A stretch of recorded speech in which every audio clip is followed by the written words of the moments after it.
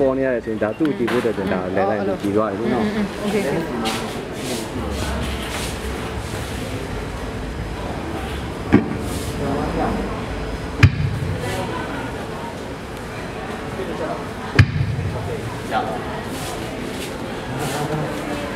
โอเค โอเคဟုတ်ပြီကျွန်တော်ဒီမှာ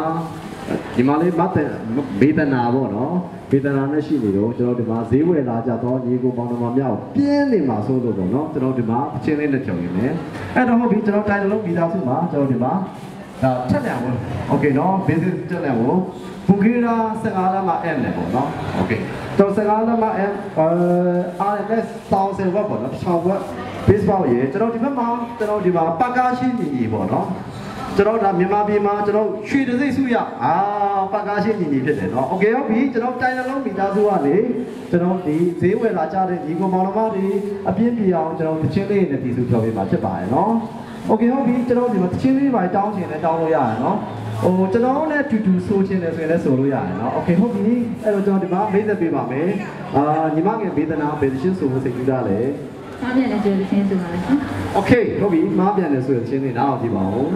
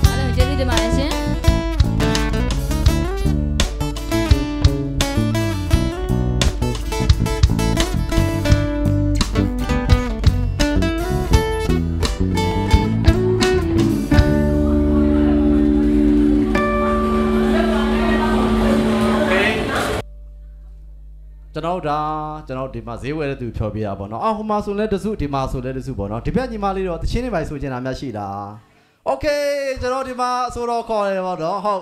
ကျွန်တော်အစိုး